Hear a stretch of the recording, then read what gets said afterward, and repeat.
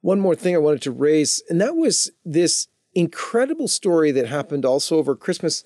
Um, but it was of the striking of the statue of St. Peter the Pope in Buenos Aires. Now, so it's a Pope statue in Buenos Aires.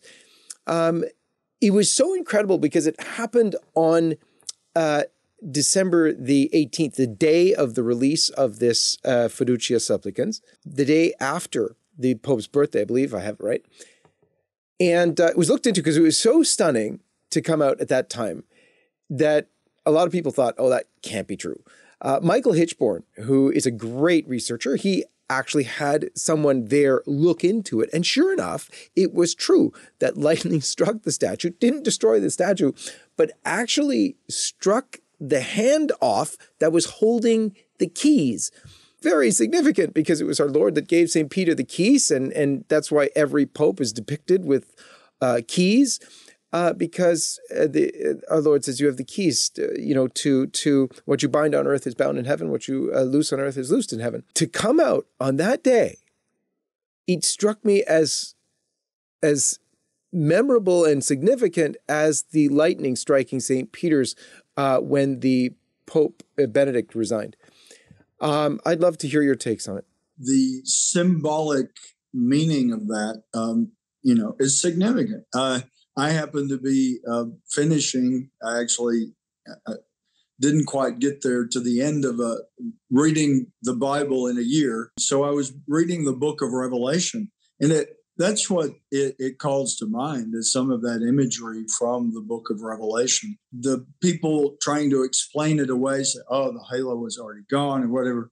Um, but I, I, think that I, I guess whatever actually happened with this statue, I think it's it has it resonates in a significant way for people of faith because it's a reminder of those sacred things that aren't being treated with the sacredness that they deserve. I mean, I think that's just the reality. Um, and it it just does, I think it it should give all of us pause to say, okay, um, get your life in order because you just, you know, it the the false messages have consequences, and uh, you know, so I don't.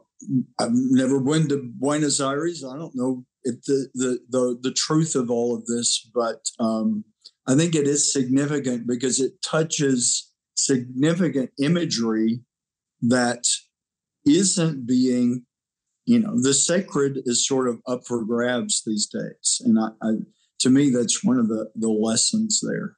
When i heard the story i said this can't be true.